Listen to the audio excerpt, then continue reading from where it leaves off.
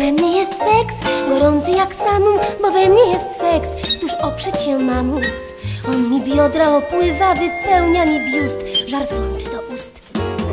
Bo we mnie jest seks, co pali i niszczy dziesiątki już serc, wypalił do zgliszczy. Kogo zmysłów pożogą ogarnie już ten, nie zazna już ten, co spokój i sen. Lecz gdy ofiarę mą trawię żarem, to cierpieć muszę. Ciało tak opętało, choć oprócz ciała mam przecież i duszę. Lecz we mnie ten seks, jak chwast ją zagłusza, nikt nie wie, że jest pod seksem i duszę.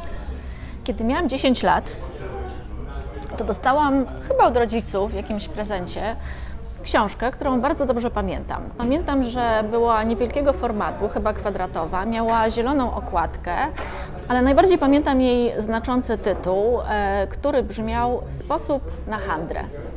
E, No, dla dziesięciolatki to pewnie znaczy coś zupełnie innego niż dla kobiet 30 czy 40-letnich, ale pamiętam, że bardzo długo do tej książki zaglądałam, bo e, były tam różne sprawdzone sposoby na jakieś takie dziewczyńskie problemy, ale przede wszystkim pisała autorka o tym, e, co robić, żeby czuć się ze sobą samą jak najlepiej.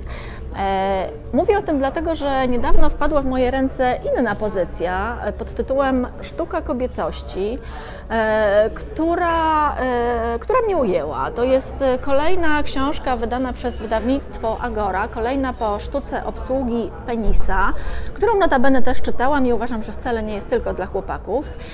I to jest książka, która jest bardzo lekko napisana. Czyta się ją trochę jak takie żartobliwe rozmowy czy felietony drukowane w prasie kolorowej, e, ale niech Was to nie zwiedzie, bo to jest e, książka całkiem poważna i e, odnosi się do różnych, myślę, naprawdę istotnych dylematów kobiecości, dylematów naszej tożsamości płciowej.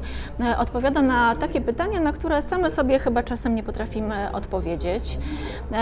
Myślę sobie, że gdybym miała kiedyś córkę, to chciałabym z nią umieć rozmawiać tak, jak rozmawiają ze sobą autorki tej książki, Aneta Borowiec i Beata Wrubel.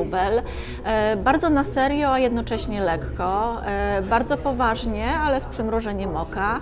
E, Nie ma w tych rozmowach tabu, nie ma w tych rozmowach takich tematów, o których nie mówimy.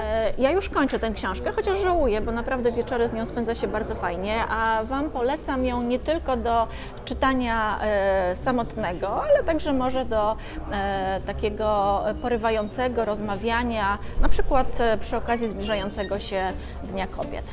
Polecam bardzo serdecznie. Bo we mnie jest seks, gorący jak samum, bo we mnie jest seks, tuż oprzeć się mamu.